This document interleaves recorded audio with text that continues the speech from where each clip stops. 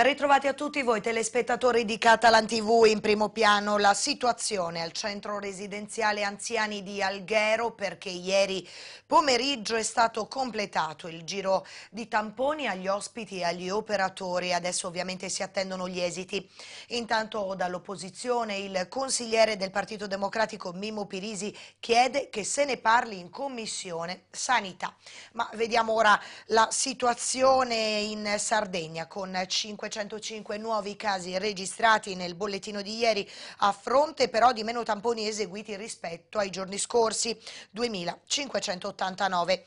6 i decessi, 3 uomini e 3 donne di età compresa fra i 65 e i 90 anni. Sono invece 512 i pazienti attualmente ricoverati in reparti non intensivi, più 9 rispetto al dato del giorno precedente, mentre di 72 il numero dei pazienti in terapia intensiva, due in più rispetto al giorno prima. Le persone in isolamento domiciliare sono 11.880. Diamo conto come sempre anche dei pazienti guariti. Ieri eh, 214 più, altri 69 guariti clinicamente. E non si placano le polemiche sulla situazione del centro residenziale anziani. Da una parte noi con Alghero, partito di riferimento dell'assessora Salaris, difende il sindaco e arriva a stretto giro la replica di Per Alghero, la lista dell'ex sindaco Bruno, che firma un comunicato durissimo. Oggi è facile, soprattutto per i nostri oppositori seduti comodamente nei banchi della minoranza, puntare il dito e gridare allo scandalo, cercando di mettere in campo, in un mare di menzogne, il peggiore spettacolo a cui si possa assistere. Il coordinamento di Noi con Alghero difende l'amministrazione dopo i recenti attacchi arrivati soprattutto dal centro-sinistra.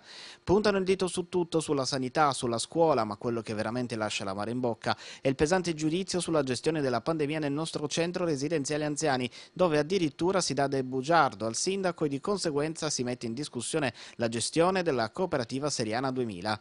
Oggi la nostra comunità piange quattro anziani che purtroppo sono stati aggrediti e uccisi da questo virus. Abbiamo provato a tenerlo fuori dalla porta in tutti i modi. Gli anziani non escono da marzo, non vedono i familiari, incontrano solo gli operatori che amorevolmente si prendono cura di loro. Si poteva evitare? Forse sì, forse no, ma soffiare sul fuoco della paura e dello sconforto e gridare alla catastrofe è un gioco da ragazzi, scrivono i rappresentanti di noi con Alghero. Ma questo non è un gioco gioco e nessuno ha mai negato la preoccupazione, l'attivazione di tutti i protocolli dettati dalle decine e decine di PCM di questi ultimi nove mesi, mesi in cui chi ha la responsabilità di governare e di decidere sa sicuramente di poter anche commettere qualche errore, ma mai e poi mai si è sottratto al suo difficile compito. Proseguono da noi con Alghero, ringraziando in chiusura la cooperativa, la responsabile Gina Carta, tutto il personale che quotidianamente lavora in contatto costante con l'infettivologo dottor Catello Napodano per la grande umanità, professionalità e coraggio in questo interminabile tempo. In tutta risposta, dal centro-sinistra è arrivata una durissima controreplica dalla lista per Alghero, nella quale accusano la civica di centrodestra di nascondere la realtà con un comunicato scomposto di attacco all'opposizione per proteggere i loro assessori ormai terrorizzati e imbullonati alla poltrona. Tutto questo mentre la loro sempre più inesistente assessore ai servizi sociali in questo anno e mezzo per il CRA è riuscita giusto a comprare un televisore. Le speculazioni della campagna elettorale con gli anziani che non potevano restare un giorno in più all'ostello sono dimenticate da tempo tempo e l'assessora Salaris con il suo sindaco non è riuscita neppure a realizzare le coperture dei camminamenti, sostengono. Nel frattempo, anche nell'ultimo consiglio comunale diceva che tutto andava bene e che al CRA era tutto sotto controllo. Il lungo comunicato, firmato dal direttivo della lista di centrosinistra, guidato dall'ex consigliera comunale Franca Carta, prosegue con altre parole al veleno, indirizzate anche all'altro assessore, Emiliano Piras. Quindi una chiosa. Temiamo che per riuscire a conservare la poltrona non basterà attaccare attaccare l'opposizione con comunicati pieni di menzogne nel goffo tentativo di recare piacere al sindaco. Centro-sinistra che ha attaccato il sindaco sulla mancata risposta all'interrogazione protocollata lo scorso 22 ottobre sulla gestione dell'emergenza Covid. Da Forza Italia intanto è arrivato in sostanza un appello all'unità.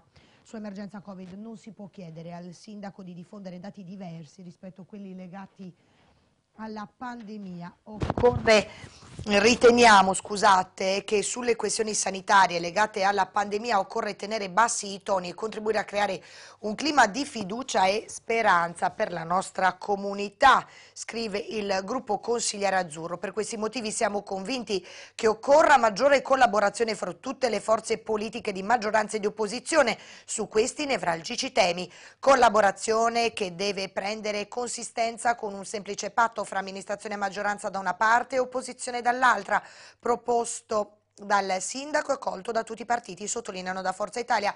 Pur nel rispetto dei rispettivi ruoli, crediamo che le forze politiche tutte oggi abbiano delle responsabilità straordinarie sul tema della pandemia che devono essere esercitate con interlocuzioni serrate ed emarginando le polemiche. Commissione consiliare sul tema dell'acquacoltura. Domani alle 16 l'argomento sarà affrontato dai consiglieri comunali e dagli esperti del settore nell'incontro convocato dal presidente Cristian Mulas. La quinta commissione discute sul tema molto attuale in questi giorni con il coinvolgimento delle istituzioni, associazioni ambientaliste, imprese e comitati. L'ordine del giorno, analisi e concessione, impianto acquacoltura nello specchio acque antistante forte della Maddalenetta. Vedrà in collegamento video gli assessori Andrea Montis, Giorgia Vaccaro, Marco Di Gangi, il dirigente del settore Michele Fois, il comandante della Capitaneria di Porto di Alghero Pier Claudio Mosco Giuri, Francesco Ghiot, rappresentante Lipu, Carmelo Spada, rappresentante WWF, Roberto Barbieri, rappresentante di Lega Ambiente, l'Associazione di Imprese dei Balneari in Prema, Franco Pedrini, rappresentante FIBA Confesercenti, Andrea Mariotti, rappresentante associazione Wind North Shore, Nadia De Santis, rappresentante del Comitato La Maddalenetta Alghero e Fabio Cotogni, rappresentante legale della società cooperativa Vivarium. Coinvolgiamo tutti gli attori di questo argomento senza tralasciare nulla di intentato per mettere insieme le aspettative delle imprese e le richieste dei cittadini mirati alla fruibilità del nostro mare. In primo piano c'è sempre la valorizzazione e il sostegno all'imprenditoria che soffre più che mai a causa dell'emergenza, ma nel contempo dobbiamo anche tenere conto delle istanze della comunità e delle attività sportive che nel nostro territorio trovano l'ambiente ideale, afferma il presidente della quinta commissione Mulas. E noi ci fermiamo, c'è la pubblicità, ci ritroviamo subito.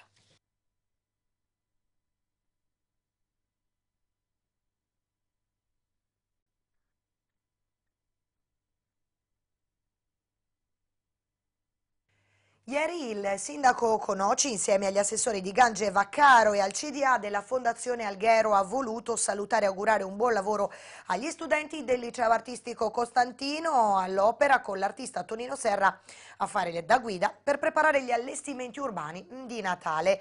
Ci saranno le lanterne di rientro da Pesaro, ma anche le gabbiette luminose che negli scorsi anni sono state particolarmente fotografate dai turisti e non solo, ma Sentiamo proprio le parole del primo cittadino e dello stesso Tonino Serra al mercato per eh, salutare l'inizio dei lavori dei ragazzi dell'artistico, dei loro insegnanti che coordinati da Torino Serra anche quest'anno regaleranno alla città gli addobbi, in particolare l'albero di Natale ma anche eh, gli addobbi del, del, del centro per eh, una ripresa che deve passare proprio da un impegno di tutti. Ecco, eh, questi ragazzi sono il simbolo di questo impegno, di questa voglia di riprendere e io penso che sia importante che questo messaggio venga trasmesso a tutta la città. Alghero non si ferma, Alghero ha fiducia nel futuro e eh, questo futuro passa proprio dal lavoro di, di questi ragazzi, dall'impegno che ci stanno mandando e mettendo per eh, rendere la nostra città più bella, dare un aiuto ai nostri commercianti, alle famiglie in difficoltà e io penso che sia un bellissimo segnale. Allora, intanto, come, come, ogni anno, ringrazio sempre eh, il sindaco, la fondazione e l'istituto artistico in particolare, perché, ripeto, senza ragazzi è impossibile realizzare questi elementi della bellezza. Non voglio essere ripetitivo, però in questo momento la bellezza è una terapia. Chi esce ha voglia di sognare, quindi vedere la città che è bellissima, di per se stesso, perché Madre Natura ha creato Alghero una, una realtà meravigliosa, per cui vedere che a sua volta è inghirlandita da degli elementi che gli stessi ragazzi che l'abitano li costruiscono, li realizzano, penso che sia una cosa favolosa. Quindi l'augurio più bello è che queste eh, questi, questi, spazi insomma, siano poi fruibili eh, al più presto in una situazione comunque di grande eh, serenità, felicità, salute, cercando di superare questo momento che purtroppo è storico, è mondiale e eh, l'augurio più bello è che veramente queste situazioni eh, anche nei colori, abbiamo scelto il rosso che è il colore primario di vita, di energia, sia veramente di buon auspicio per tutti.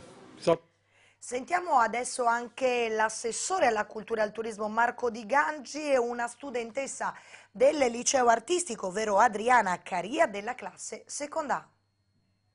Eh, come ormai da diversi anni eh, il liceo artistico, eh, la propria dirigenza, il proprio corpo docente, ma soprattutto i ragazzi, perché eh, con il loro importante contributo ci consentono, soprattutto in tempi difficili dove veramente le risorse finanziarie sono molto ridotte, di ridare luce e io direi anche speranza alla città.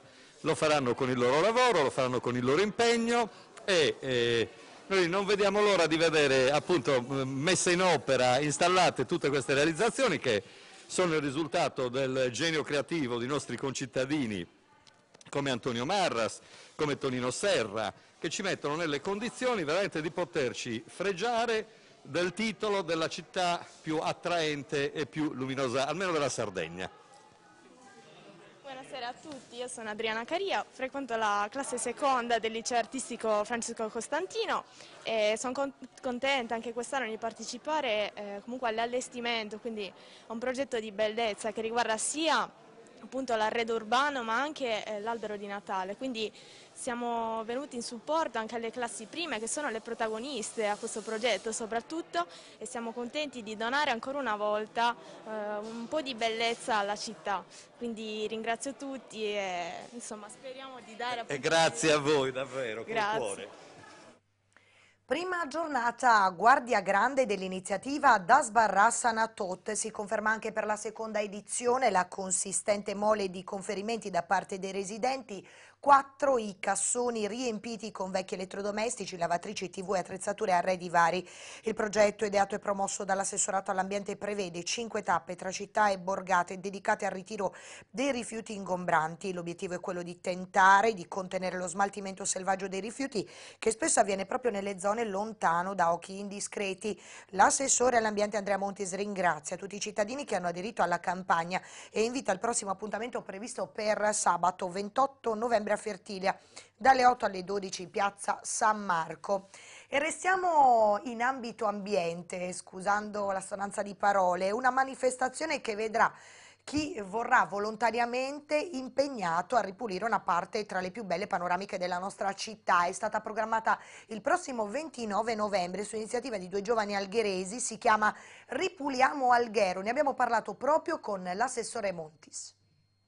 Professore Montis, parliamo di Ripuliamo Alghero. Il prossimo 29 novembre una bella iniziativa per la nostra città, nata da un comitato spontaneo Ripuliamo Alghero, poi sentiremo anche i, le due persone che comunque hanno ideato questa giornata, che cosa rappresenta per la città. Ma eh, rappresenta intanto per quanto mi riguarda una, una grande novità, eh, anche con stupore ho ricevuto questi due ragazzi che non conoscevo, che hanno avuto un approccio che mi ha stupito in quanto non sono arrivati a, a volgere esclusivamente delle critiche che ci stanno anche sempre perché siamo tutti perfettibili e tutti i servizi sono perfettibili, ma si sono proposti insomma, di dare una mano laddove sanno che l'amministrazione non può arrivare, quindi un approccio secondo me eccellente soprattutto per la giovane età. Ci lamentiamo spesso che i giovani non sono coinvolti, in questo caso invece abbiamo dei giovani coinvolti, volenterosi, molto audaci e io eh, ritengo che l'amministrazione debba sempre sostenere queste iniziative.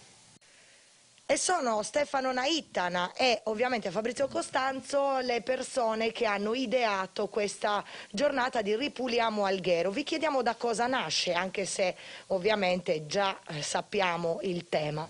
Beh, nasce per via dell'esigenza comunque di dare anche un segnale alla città con l'idea di sensibilizzare quante più persone possibili e magari anche con la speranza di fare avvicinare i giovani eh, ad un tema che comunque ci riguarda tutti quanti in prima persona. Come si svolgerà la giornata Fabrizio?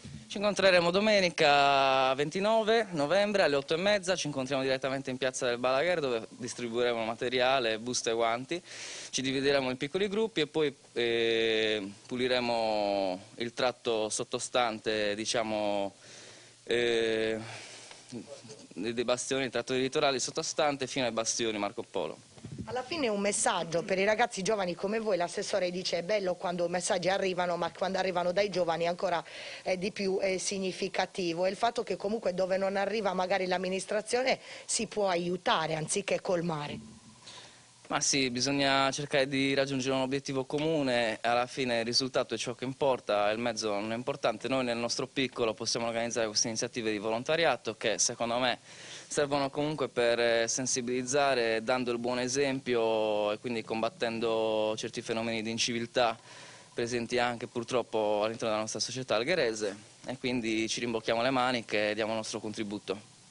Pensando erroneamente di ritornare in studio dopo l'intervista all'assessore Montis non avevo presentato questi due ragazzi che avrete capito sono Stefano Naitana e Fabrizio Costanzo, loro hanno ideato ovviamente Ripuliamo Alghero. Ed ora passiamo ad un altro argomento. Promo Camera lancia il bando Sasses per favorire la nascita di nuove imprese. Grazie ai programmi comunitari, ormai da svariati anni, Promocamera indirizza le imprese verso un contesto sempre più dinamico e competitivo, creando sinergie al di fuori del territorio regionale, dice il neopresidente Francesco Carboni. Come braccio operativo della Camera di Commercio di Sassari ci sentiamo responsabili per la crescita del tessuto imprenditoriale locale del Nord Sardegna e per questo dedichiamo tempo e risorse per aumentare le competenze dei nostri imprenditori, avendo chiara l'importanza delle politiche europee come istituzione ci stiamo impegnando a valorizzare, supportare e incoraggiare i rapporti tra le imprese sarde con il contesto territoriale transfrontaliero, creando sinergie di scambio vantaggiose per tutta l'isola. Tra i progetti attualmente in corso, Sasses nasce con l'obiettivo di supportare la creazione di lavoro nei territori dell'Alto attraverso l'attivazione di una rete transfrontaliera di servizi, quindi scouting, coaching e tutoring per assistere allo sviluppo di iniziative di autoimprenditorialità nelle filiere prioritarie identificate appunto dal programma trasfrontaliero, quindi nautica, turismo innovativo e sostenibile, energie rinnovabili e biotecnologie. Grazie a Sunset, a Sunset consentirà eh, 25 partecipanti residenti in Sardegna di aumentare le proprie competenze per creare nuove imprese. Grazie a diversi strumenti che il paternariato metterà a disposizione da gennaio a maggio del 2021. Dalla Promocamera fanno sapere che le candidature saranno aperte fino al 30 novembre 2020 attraverso il sito interregmarittime.eu slash web slash success si potranno avere informazioni dettagliate e scaricare anche il documento che permette di visionare il bando vero vero e proprio. Ed è tutto per l'edizione di oggi del nostro telegiornale, ora le previsioni del tempo per domani. Io come sempre vi ringrazio per l'attenzione, arrivederci.